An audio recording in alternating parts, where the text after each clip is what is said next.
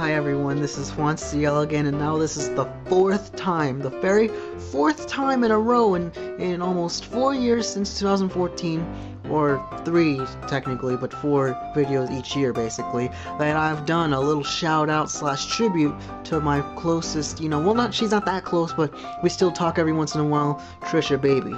She usually does simple little videos on her on her um, Google Plus, Instagram, and Twitter accounts, but I've been getting a little closer to her lately, and she's a really nice woman, basically, and yeah, you already know. If you've already seen these videos for the past few years, you should already know this by now, but there's something new about some of her videos where she keeps showing her daughter, you know, taking her daughter to school and going to a bunch of parties. Yeah, they look pretty fun and all, but I just wish she could do more videos, you know, of her own, like, let's say, I don't know, like, like doing simple Q&As and, you know, um, I don't know, like talking directly into the audience like how I am. Yet I was thinking about doing Q&A, but no one ever asked me questions. Come on, people, give me some questions for once.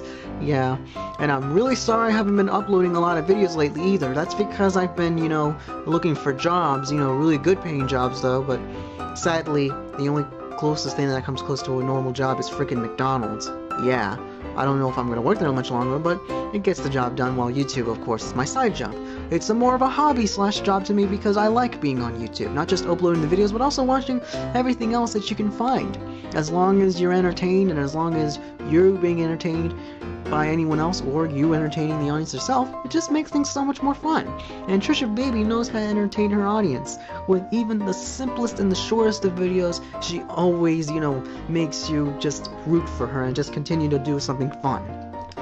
But yeah, this is the fourth time in a row in since 2014 since I've done a shout out to Trisha Baby. She's a really pretty woman. She's from Texas and she's very very sweet and hopefully I get to meet her one day. I keep saying that a bunch of times, I know.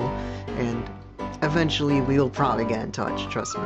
And also, I'll probably, maybe, maybe do some more videos throughout this month of October, since that I have haven't been doing that much videos in September. I'll definitely make a few more in October, like maybe one for Halloween and maybe some gameplays, something like that, and maybe some more more one talks about videos. Yeah, I hope that'd be great.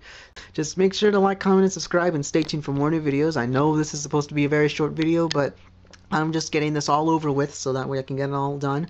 So, yeah, peace out, rock on, and have a nice day.